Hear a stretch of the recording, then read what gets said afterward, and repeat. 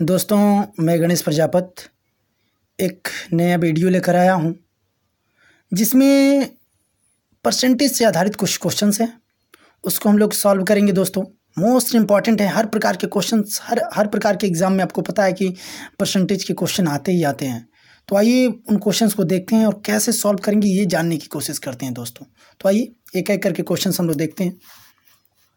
दोस्तों क्वेश्चंस दिया हुआ है कि यदि ए की आय बी की आय से पच्चीस परसेंट अधिक हो तो बी की आय ए की आय से कितने परसेंट कम होगी दोस्तों क्वेश्चन आपका ये है कि ए की आय बी की आय से पच्चीस परसेंट अधिक हो तो जो बी की आय होगी वो ए की आय से कितना कम होगी तो जब भी इस प्रकार का क्वेश्चन हो कि ए की आय बी की आय से इतना अधिक हो तब बी की आय ए की आय से कितना कम हो तो उसके लिए एक फार्मूला होता है दोस्तों बी की आय ए से कम होगी, कितना कम होगी? तो R upon hundred plus R इतना अधिक बोल रहा है। अधिक बोलेगा तब जोड़ेंगे हंड्रेड में, और कम बोलेगा तो हंड्रेड में से माइनस करेंगे। तो दोस्तों R upon hundred plus R multiplied by hundred percent मैंने इतना होगा, इतना परसेंट होगा। दोस्तों, कहने का मतलब जहाँ जहाँ आर होगा, जितना परसेंट दिया होगा उसके जगह पर रखेंगे। यहाँ पर पच्चीस परसेंट है तो हम रख देंगे पच्चीस और नीचे सौ प्लस पच्चीस हो जाएगा एक सौ पच्चीस मल्टीप्लाइड बाई हंड्रेड पच्चीस पाँच एक सौ पच्चीस, पाँच से इसमें हम काट देंगे इसको तो पाँच का टेबल बीस टाइम्स पढ़ेंगे तो हो जाएगा हम लोग को बीस परसेंट मिल जाएगा दोस्तों। कहने का मतलब जो बी की आय होगी ए की आय से कम होगी दोस्तों कितना तो बीस परसेंट कम होगी। कितना कम होगी? बीस परसेंट तो दोस्तों, मैं आशा करता हूँ कि ये आपको क्वेश्चन समझ में आया होगा। नेक्स्ट क्वेश्चन ऐसा ही है। आओ, आइए, हम लोग उसको भी देख लेते हैं, ताकि अच्छे से आपको समझ में आ जाए। दोस्तों, इस क्वेश्चन में कह रहा ये कि यदि ए की ऊंचाई बी की ऊंचाई से बीस परसेंट कम हो तो बी की ऊंचाई ए की ऊंचाई से कितना परसेंट अधिक है? अब यहाँ पर देखिए दोस्तों ए की जो ऊंचाई है बी की ऊंचाई से बीस परसेंट कम है। तो बी की ऊंचाई जो होगी ए से कितना अधिक होगी? तो इसके लिए भी वैसा ही फार्मूला अभी हमने बताया है कि जब भी कम की बात होगी तो हंड्रेड में से माइनस जब भी अधिक की बात होगी तो हंड्रेड प्लस आर करेंगे। तो उतना हम लोग करते हैं। तो चलिए बी की ऊंचाई ए की ऊंचाई से अधिक होगी तो R upon hundred minus R into hundred percent हो जाएगा दोस्तों। यानी जहाँ जहाँ आर है, वहाँ वहाँ टेन ट्वेंटी रख देंगे, बीस रखेंगे तो बीस अपान सौ माइनस बीस मल्टीप्लाइड बाई हंड्रेड तो हमको मिल जाएगा दोस्तों, बीस अपान अस्सी मल्टीप्लाइड बाई हंड्रेड और दोस्तों जब इसको हम काटेंगे तो बीस चौके अस्सी फोर टाइम्स में कटेगा दोस्तों और फोर का टेबल पढ़ देंगे हम हंड्रेड में तो हमको ट्वेंटी फाइव मिल जाएगा। यानी कहने का मतलब जो बी की ऊंचाई होगी, वो ए की ऊंचाई से अधिक होगी पच्चीस परसेंट। तो जब भी दोस्तों आपको क्वेश्चन में अधिक की बात, अधिक दिया हो तो हम उसको हंड्रेड में ऐड कर देंगे। और जब भी कम वाला दिया हो तो उसको हंड्रेड में से माइनस कर देंगे दोस्तों। और तब जाकर के R upon hundred plus R अथवा R upon hundred minus R multiplied by hundred percent हम फाइंड कर लेंगे दोस्तों। तो मैं आशा करता हूँ कि इस प्रकार के क्वेश्चन आपको समझ में आ गए होंगे। अथवा आपके एग्ज़ाम में आएँगे भी तो आप आसानी से क्वेश्चन को सॉल्व कर लेंगे दोस्तों। आइए कुछ अन्य एग्जाम्पल्स भी देखते हैं और इंपॉर्टेंट महत्वपूर्ण क्वेश्चन है वो भी दोस्तों। दोस्तों, ये क्वेश्चन देखिए आप लोग, लिखा हुआ है। कि शनि को एक परीक्षा में उत्तीर्ण उत्तीर्ण होने के लिए छत्तीस छत्तीस परसेंट अंक प्राप्त करने थे। उसने चौबीस परसेंट प्राप्त किए तथा नौ अंकों से अनुत्तीर्ण रह गया तो पूर्णांक ज्ञात किए। मैंने कितने मार्क्स का पेपर था वो ज्ञात करना है दोस्तों। शनि एक परीक्षा दिया और उसको छत्तीस परसेंट अंक लाने थे पास करने के लिए, लेकिन उसने कितना प्राप्त कर पाया? चौबीसे अंक परसेंट अंक प्राप्त कर पाया और नौ गो अंक से फेल हो गया। कहने का मतलब दोस्तों कि और उसे पूर्णांक भी ज्ञात करना है। पूर्णांक ज्ञात करना है कि कितने मार्क्स का पेपर था। उसको लाना था छत्तीस परसेंट। लेकिन लाया कितना उसने?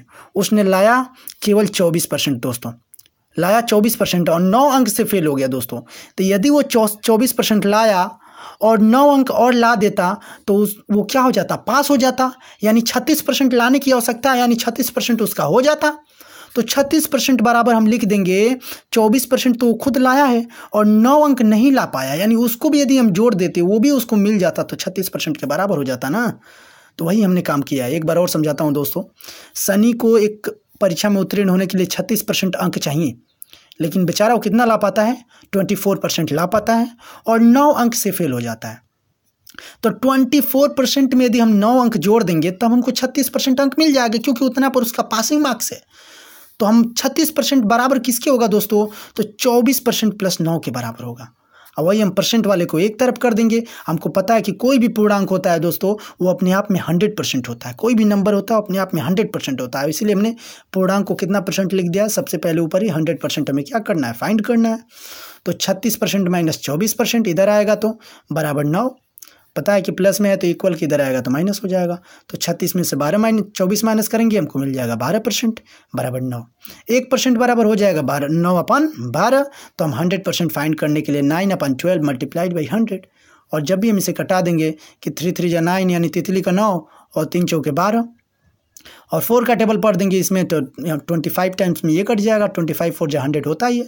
और ट्वेंटी फाइव थ्री क्या हो जाएगा सेवेंटी फाइव यानी पेपर कितने मार्क्स का था दोस्तों? सेवेंटी फाइव मार्क्स का था।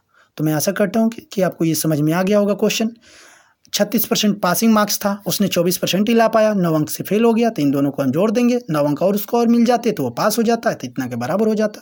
तो चलिए दोस्तों मैं आशा करता हूँ कि इस प्रकार के क्वेश्चन यदि आपके एग्ज़ाम में आएँगे तो आप कर लेंगे दोस्तों। आइए नेक्स्ट हम लोग क्वेश्चन देखते हैं। ऐसा ही है एक परीक्षा में एक छात्र ने तीस परसेंट अंक लिए और वह पैंतालीस अंक से अनुत्तीर्ण हो गया। मैंने तीस परसेंट अंक पाया और पैंतालीस अंक से फेल हो गया। पैंतालीस अंक और लाया होता, तब पास हुआ होता। दूसरे छात्र ने बयालीस परसेंट अंक लाया और पास होने वाले आवश्यक अंक से पैंतालीस अंक अधिक ला दिया है। तो पूर्णांक बताइए, मैंने कितने मार्क्स का पेपर था ये बताना है। तो दोस्तों इसको सॉल्व करने के लिए बस सिंपल सा तरीका है। एक परीक्षा में एक छात्र ने तीस परसेंट अंक लाया और फेल कितना से हो गया? पैंतालीस अंक से। यानी तीस परसेंट में पैंतालीस अंक और भी वो ला देता मेहनत करके तो उतना मार्क्स आ जाता कि वो पास हो जाता। मैंने पासिंग मार्क्स उसका आ जाता। तो तीस परसेंट में हमने पैंतालीस जोड़ दिया दोस्तों। कि ये इतना क्या इसका पासिंग मार्क्स है। जो दूसरा वाला लड़का है दोस्तों, उसने बयालीस परसेंट अंक लाया और जो न्यूनतम अंक है पास होने के लिए उससे पैंतालीस अंक अधिक ला दिया। तो हमको अधिक वाला नहीं चाहिए, हमको उतना चाहिए जो कट ऑफ़ बना हुआ है। तो बयालीस परसेंट लाया, लेकिन बहुत ज़्यादा मार्क्स ला दिया, इसने पैंतालीस अंक अधिक ला दिया है। तो बयालीस परसेंट में से हम पैंतालीस अंक क्या कर देंगे? घटा देंगे। और जब घटा देंगे तो ये भी बराबर हो जाएगा, ये भी बराबर हो जाएगा, क्योंकि इसने कम लाया था तो इसमें पैंतालीस मिला देंगे, तब कट ऑफ़ के बराबर होगा। और इसने अधिक लाया था तो इसमें से पैंतालीस घटा देंगे, तब बराबर होगा कट ऑफ़ के। परसेंटेज वाला एक तरफ़ कर लेते हैं, अंक वाला एक तरफ़ कर लेते हैं, पैंतालीस इधर आ जाएगा तो माइनस है तो प्लस में, पैंतालीस पैंतालीस, नब्बे हो जाएगा दोस्तों। ये बयालीस में से इधर आ जाएगा, घट जाएगा तो बारह परसेंट हो जाएगा। हमको यानी पता है कि हर पूर्णांक अपने आप में हंड्रेड परसेंट होता है, फाइंड करना है दोस्तों तो ये अपना हो जाएगा, नब्बे अपन बारह, बटा में आ जाएगा, वन परसेंट बराबर, उसके बाद हंड्रेड परसेंट निकाल देंगे, और उसके बाद कटाएँगे हम तो हमको मिल जाएगा सेवन हंड्रेड फिफ्टी दोस्तों। तो ये जब भी आप काट लेंगे तो आपको मिल जाएगा, आप कर लेंगे। तो दोस्तों, मैं आशा करता हूँ कि ये सभी क्वेश्चंस समझ में आ गए होंगे, ये इंपॉर्टेंट क्वेश्चंस थे। और इस प्रकार के हम अनेक क्वेश्चंस लेकर आएँगे हर एक चैप्टर से संबंधित दोस्तों। तो मैं ऐसा करता हूँ कि आपको वीडियो अच्छा लगा होगा दोस्तों। तो कम से कम चैनल को सब्सक्राइब कर लीजिए और दोस्तों वीडियो को शेयर भी करें ताकि आपके फ्रेंड्स भी पढ़ सकें, इसके बारे में जानकारी प्राप्त कर सकें दोस्तों। तो दोस्तों, बस यही उम्मीद है आपसे कि चैनल को शेयर करें लाइक करें और सब्सक्राइब भी कर लें। ताकि नेक्स्ट वीडियो का नोटिफिकेशन आपसे आपको मिल जाए। दोस्तों धन्यवाद।